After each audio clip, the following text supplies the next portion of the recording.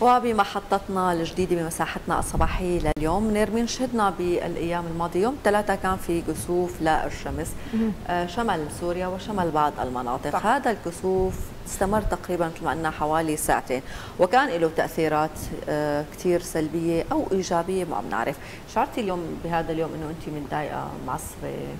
لزوجي. يعني شوي بس مو كثير للأمانة بس في أشخاص إيه بيقولوا لك إنه الكسوف أنت كنت عم تقولي إنه كنت معصبه آه يعني حس إني أنا مضغوطة بس يعني ما أنا ماني مضغوطة أنا مستعجلة بس ماني مستعجلة مشغولة وما عندي شيء فهذا الحالة النفسية آه دائما الكسوف والخسوف بيكون له تاثيرات بعلم الطاقة على الأرض وعلى الأشخاص.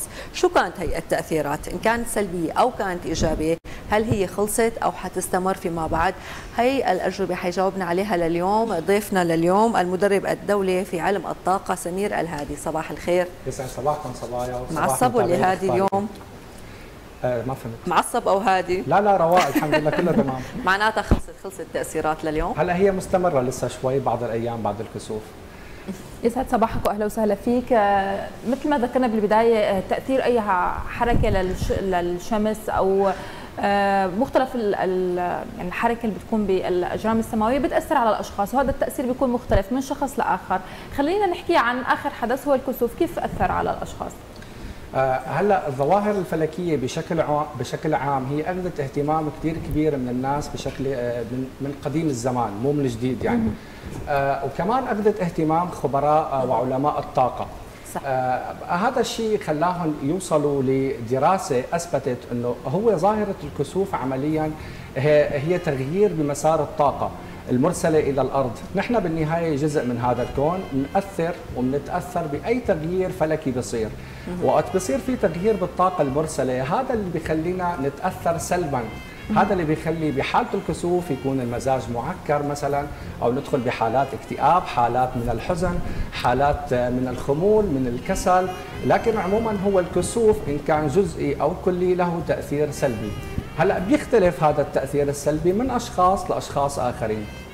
طيب بهذا اليوم خلينا بيوم الثلاثاء الساعة 12 وربع بالوقت يعني.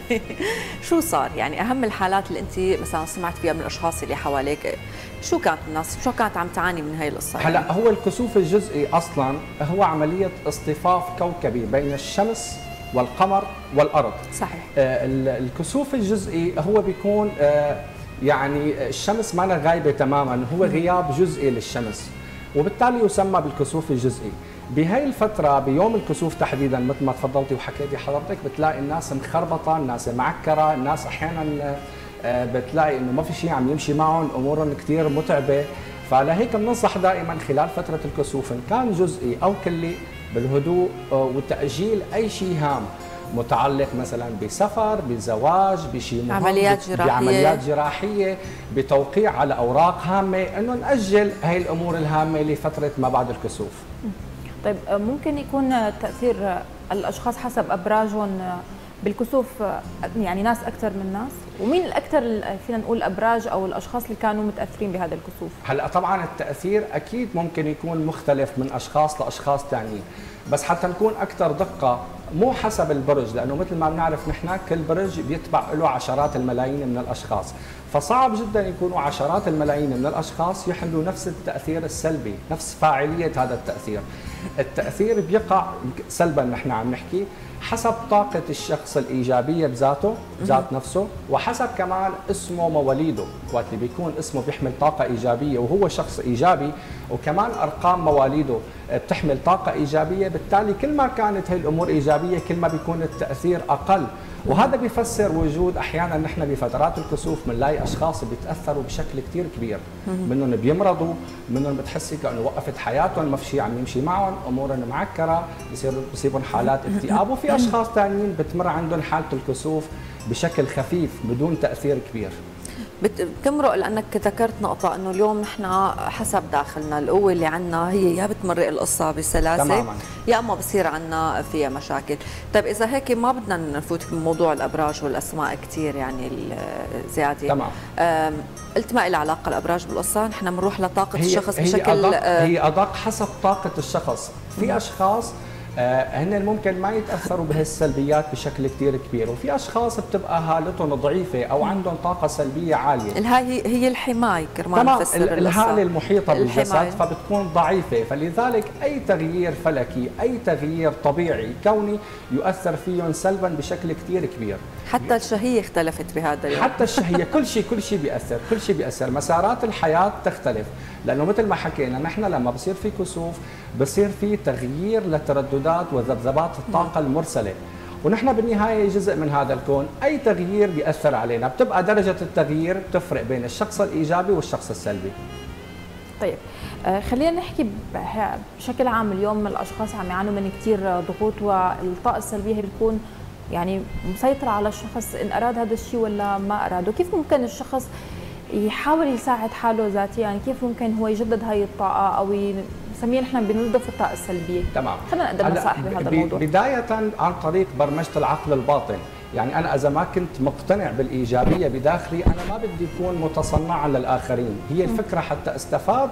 ما بدي أكون متصنع للطاقة الإيجابية بدي أكون أنا مؤمن فيها. أنا مقتنع فيها بشكل كامل. فأنا وقت بؤمن بفكرة الطاقة الإيجابية. وبرمج عقلي الباطن على الطاقة الإيجابية بالتدريج شوي شوي مرحلة ورا مرحلة. آه، بصير بتعامل مع الأمور بشكل أهدى بشكل أكثر لطف بشكل أكثر إيجابية.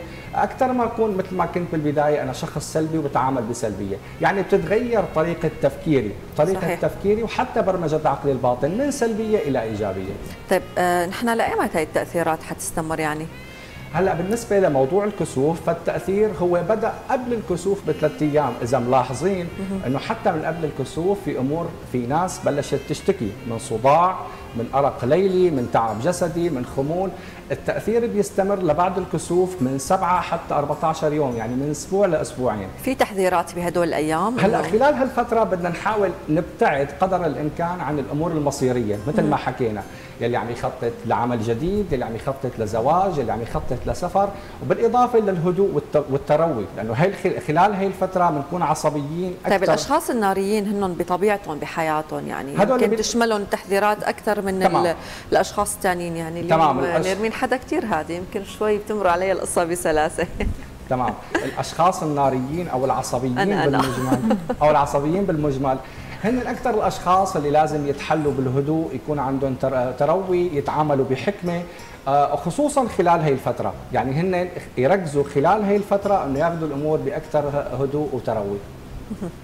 طيب آه لا حكى نقطة كثير منيحة إنه نحن خلص خمسة أيام حنخلص من القصة لأنه نحن موعودين بكسوف ثاني بال 2027 فما في في مدة سنوات تمام. آه آه بالمناسبة على ذكر فترات الكسوف فهي بتتراوح تقريبا كل 18 شهر.